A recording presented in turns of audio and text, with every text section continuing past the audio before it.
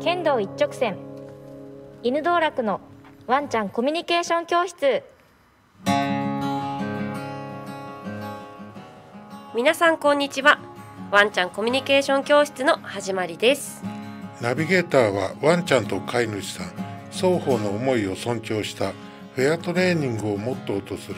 ディンゴの認定マスターインストラクタートレーナー末川義和と。リンゴ認定インストラクターの名護と。リンゴ認定インストラクターの池村です。よろしくお願いいたします。この番組はご愛犬との暮らしを楽しむためのアイデアをお伝えする番組になります。私たちが所属するディンゴでは支配服従の関係ではなくパートナーとしての関係を築けるようさまざまな情報を科学的根拠に基づいてお伝えしております。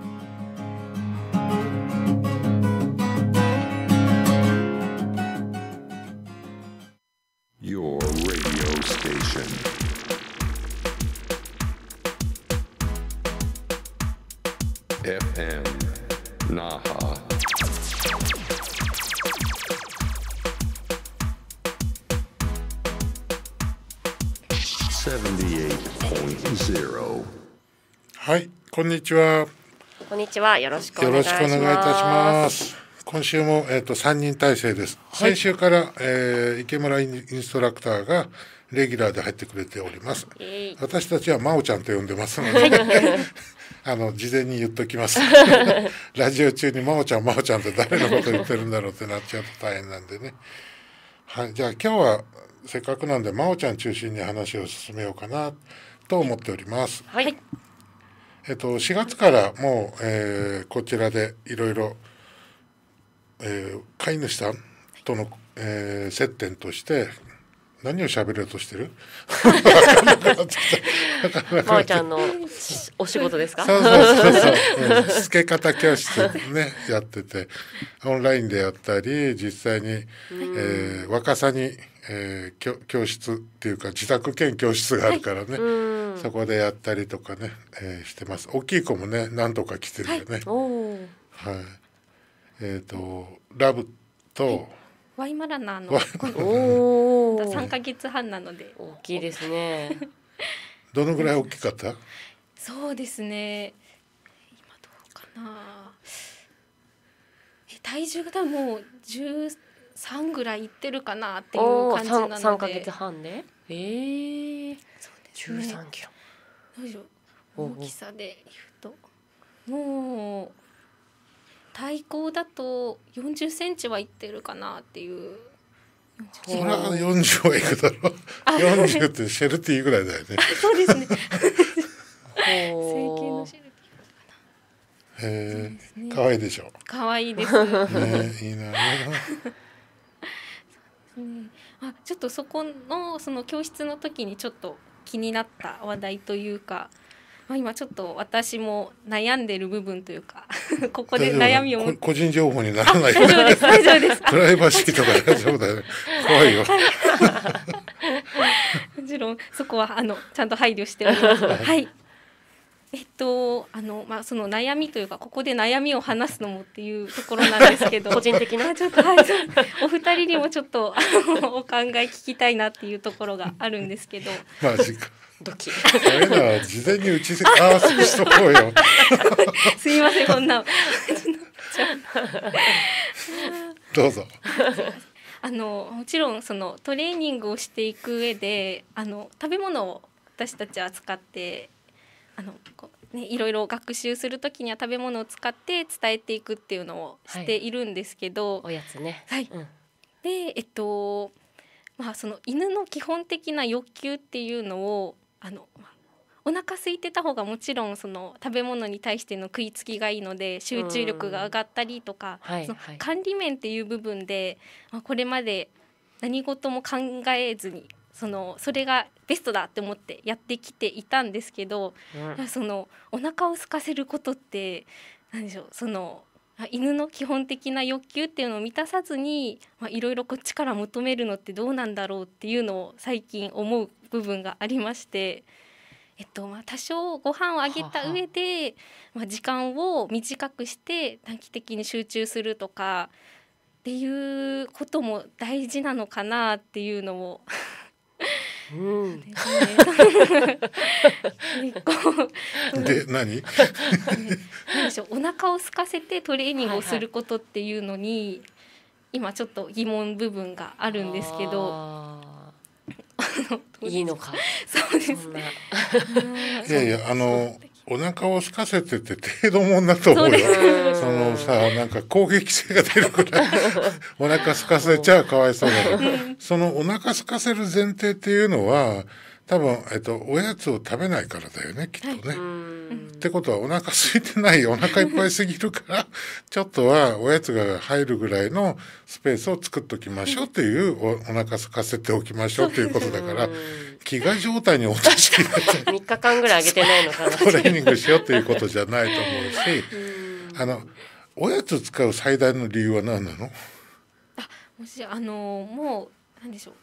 犬にとっての、まあ、もちろんすぐにえっとなんでしょうご褒美となり得るものなのでこっちと信頼関係ができてない場合っていう時にもすぐ使えるものだと思いますしあとはあの、えっとあれ何を言おうとしたっけ？あそうですね。犬のやる気が上がるのも理由の一つなのであとですね。あそうだ。あの学習を進めたい時っていうのはやっぱり親難しいないうことが まとまってなくてこうこしいこと。わかりやすいからだよね。そうですね、ね、犬に分かりやすいからだよね。ね。分かりやすいってとっても大事なことだから、まー、ちゃんはいろんな勉強してきてるけど分かりやすく言うっていうのを勉強してる何言ってるか。質問も分かんなかったし。すいません。もう緊張で何を言ってるのかもそうそうだから分かりやすくするために、えっとマーカーとしておやつを使ってるわけだよね。だからそれがマーカーにならないようじゃ困っちゃうわけじゃん。はい。じゃあ何を使う？マーカーじゃなかった。がおおやつでできなかった。ね今、できないでしょ？だからおやつが使えるようにしておきましょうっていうちょっとお腹を空かせておきましょうっていう言葉だと思うからダメよ飢餓状態にしたら。怖い。そうそう。だからえっと何でもいいんだ犬に伝える方法だからさ別に。ただおもちゃだとおもちゃ返してもらわなきゃいけないから学習効率落ちてるし怒ったり叩いたりきつい声で言うっていうのはエスカレートして信頼関係も崩れるしあんまりねそんなために犬を飼ったわけじゃないだろうから。そうだからえっとおやつがちゃんと使えるようにしておきましょうっていう意味だよね。だからそのお腹空かしてえっと来るようにって言いたくないんだったら最高のおやつ持ってくるようにっていう。だその目的を考えればそんな難しくないと思うけどどこで悩んでんの？あーなんでしょうなんか、まあ、ご飯半分にしていただいたりとかその朝トレーニングする場合に、えっと、朝ごはん半分だけあげて来ていただくとかっていうのをしてるんですけど、まあ普段の日常だと、まあ、いっぱいもらえてるその1食分もらえてるのが半食になるっていうのはどうなんだろうなっていうのをなんかちょっと思ったりした部分があったのででもその第1会案っていうのはまだ全然思いついてないのでもっと犬にその、まあ、食べ物と同じぐらいのその分かりやすく伝わるものっていうのは考えられるのかなっていうのがちょっと 私の一つの課題だなっていうのはちょっと最近思ってる部分ですね。うん、大体案ね。大体案。大体案 じゃなくて。日本語も勉強した。難しいね。名子さんどうでしょう？でも本当ワンちゃんによりきりですよねっていうところ、そのご褒美って割とあのーまあ多分世間一般的に、まあ、先ほどおっしゃってたみたいにやっぱ分かりやすいっていうのもあってワンちゃんにとって嬉しいこと、ああの食べるの大好きだと思うので 基本的にワンちゃんって。あの分かりやすいのでおやつを、まあ、使うっていうのがスタンダードだと思うんですけれどももうたまあんまり会ったことないですけどたまにでもいますよね。そんなおやつに、うんまあ食べますけどみたいな。たまにいるじゃないですか。ご褒美って多分その時々によっても変わるし、その犬によっても変わるからなんかね飼い主さんからそのそのワンちゃんの好きなものとかいろいろ犬のこと今日じゃあ考えてみましょうとか あのワンちゃんが好きなものおやつ以外に。うん。だその、まあ、おもちゃが好きな時もあるでしょうしうん飼い主さんが好きな時もあるでしょうし とか、ね、そういうのをなんか一緒にリストアップしても面白いかもしれないですね。っていうのを感じました。ありがとうございます。でもどうでしょうねご飯ってあのほら今おっしゃってたみたいにフードを普段あげてる量の半分あげて残りはどうしてるんですか？それを持ってきてもらうみたいなはいああーなるほどそれをおやつとして使ってるってことなんあですね。の特別なおやつっていうのをあのなんでしょう飼い主さんが今一番解決したいことっていうので、えっと、教室でじゃなくてその現場のお家とかで使っていけるようにしたいっていうのもあるのでとびきり美味しいおやつっていうのはその特別な時にとっておきたいっていうのもあったりしてそれでちょっとドッグフードを普段食べてるものを持ってきていただくっていうことをしてたりとかするんですけど。そうですねでもまもっと最初にまず勉強がないと、ねえっうんと、こちらからも求めることも伝えていけないのでうん。そこもちょっといろいろ考えたいなっていうのは思いました。おやつ一種類ってことですか？あいえあっていうわけではなく、そうでもご飯だったら一種類だよね。ですそれとあとあのまああと2種類ぐらいとびっきりまではいかないんですけど、はいはい。ドッグフードの次に美味しいもの。でその次に美味しいものっていう感じで。でえっとなんでしょう。印象もすごいものが怖くなっちゃったとかそのものにならしたいっていうのを練習する時はもうとびっきり美味しいものを持ってきていただいたりはするんですけどうん。ですね。その食べ物の順位っていうのも、え。っねと、どこに当てていくかっていうのも日々変わるでしょうしね。ね。うん。こういろいろ考えるというのがそうですね。ちょっと今私の課題なのでなんか半分だけ食べてワンちゃんって「わ今日ご飯減ってるわ」って思うんですかね。ね。もしかしたらそのちょびっとだけあげてもあんまりにもこう一粒とかだったらなんかなんかおかしいなって思うと思うんですけど半分とかでもしかしたら気づくんですかね満腹具合とか。なんかちょっと聞いたこなんかそのやっぱご飯の量を教室の時に半分にしてるとあ今日あの楽しい教室が待ってるとかって言ってやっぱちょっと興奮する子もいるみたいではあるんですよ。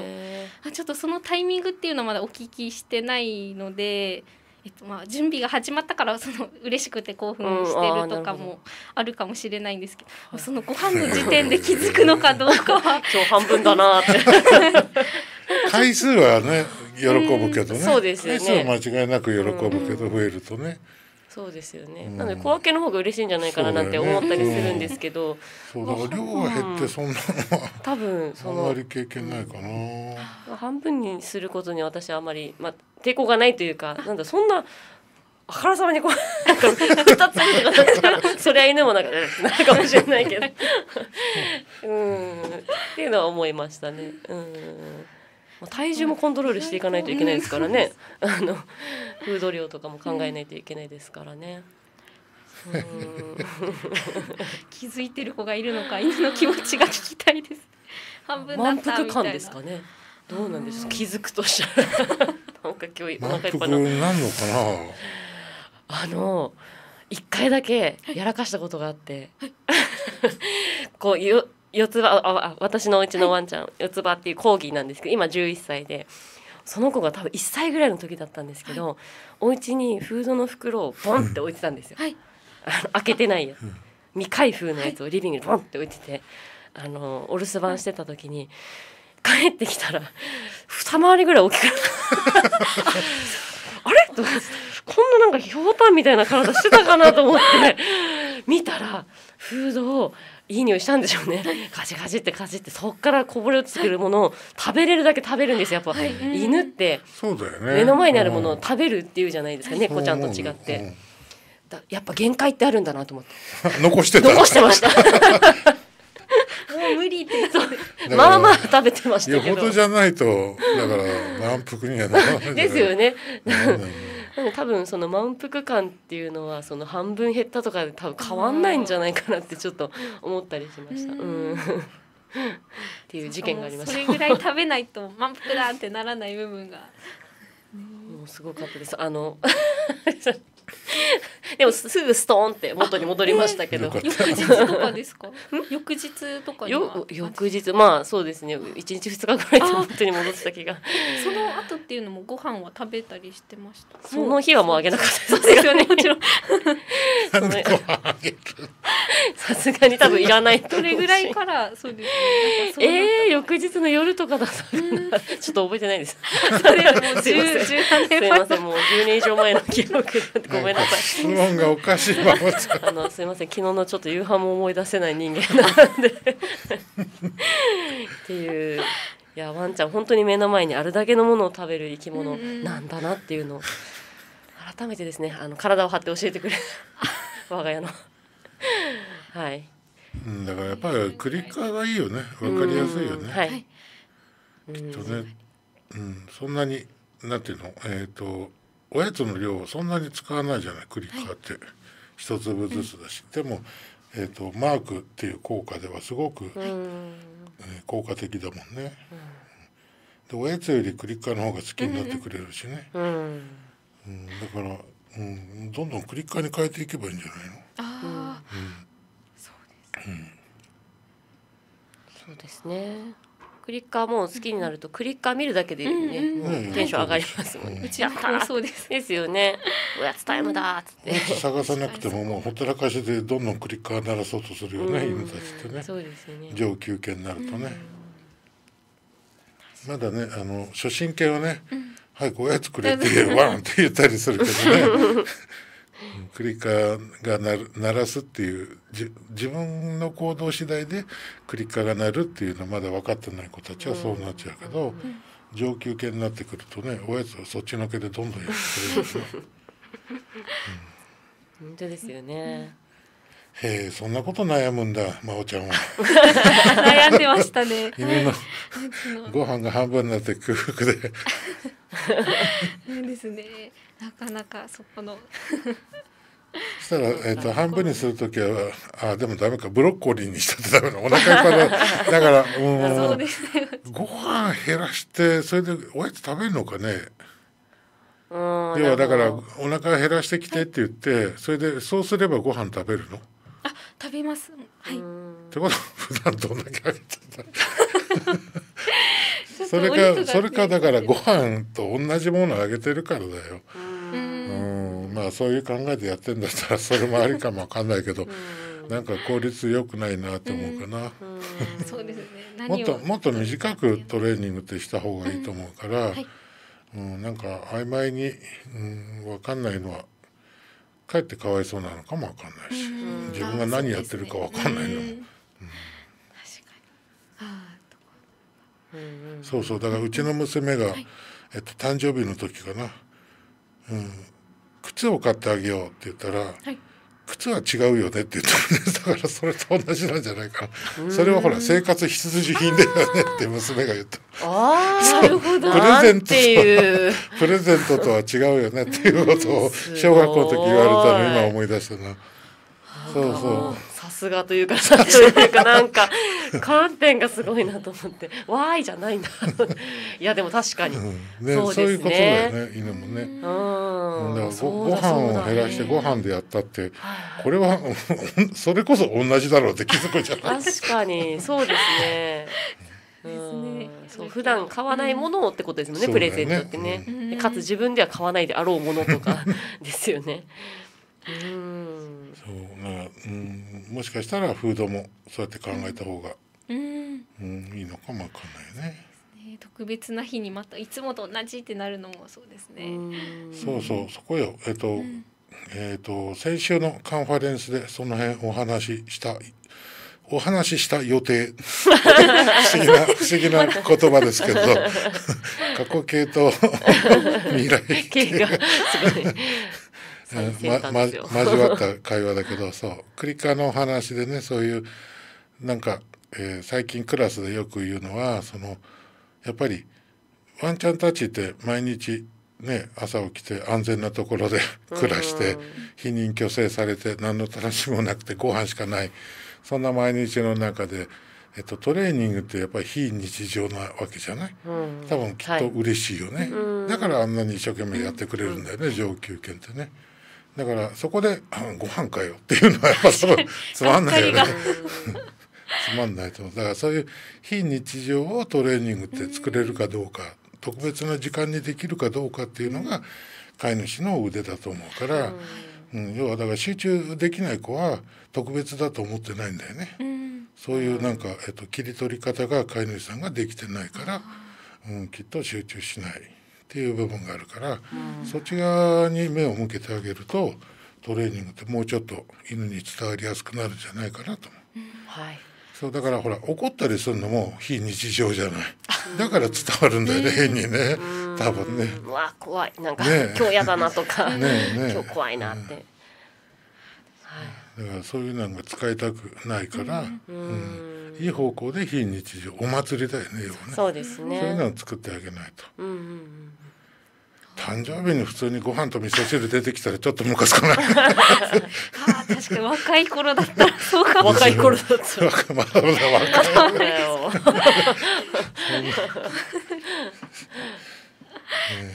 ハッピーバースデーって言いながらご飯と味噌汁と漬物が出てくる。それも朝ごはん半分減らしたやつ絶対嫌絶対グレる絶対グレるそうですね絶対グ時レる間をいかに楽しくできるかっていう、う ん絶対ちゃぶ台返しだね。こんなものって。だ多分今でもやっちゃうかもしれない。若くないけど今でもやるかもしれない。ねそうですね。特別感ですよね。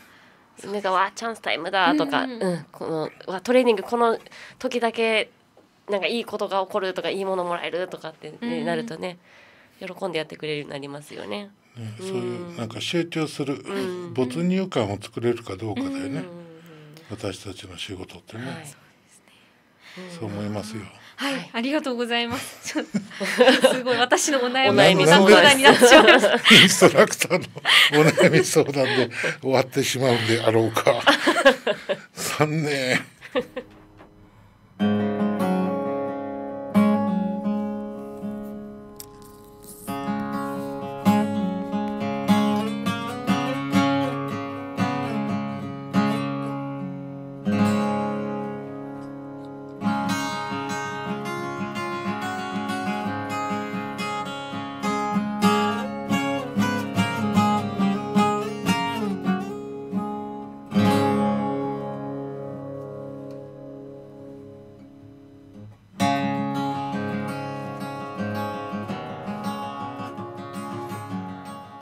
犬道楽のワンちゃんコミュニケーション教室そろそろお別れの時間です。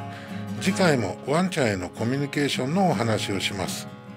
犬道楽のワンちゃんコミュニケーション教室は毎週土曜日夕方5時30分から放送しています。ラジオは FM 那覇 78.0MHz インターネットはリスラジでリアルタイム配信。FM 那覇の YouTube チャンネルからもお聞きいただけます。番組へのご要望ご相談は犬道楽のホームページ 01INUDOURAKU 数字の01から始まる犬道楽で検索していただければ見つかると思います。それではまた来週お会いしましょう。ナビゲーターはリンゴマスターインストラクタートレーナーの末川とインストラクターの名護とリンゴ認定インストラクターの池村でした。さようなら